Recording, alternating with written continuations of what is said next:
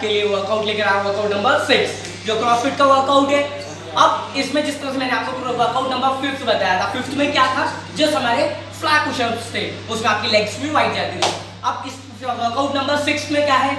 इसमें भी आपको जस्ट फ्लाई करनी है, लेकिन इसमें आपको क्या करना है? जस्ट पुशअप्स लेने हैं। और आपने आपको राइट हैंड साइड मूव करना है लेफ़्ट हैंड साइड मूव करना है। राइट हैंड साइड और लेफ़्ट हैंड साइड किस तरह से मूव करना है?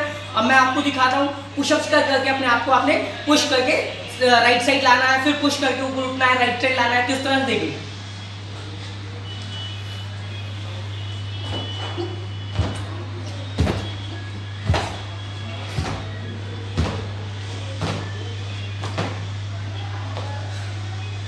ये था हमारा workout number six thank you so much for watching my video if like my video like comment and subscribe please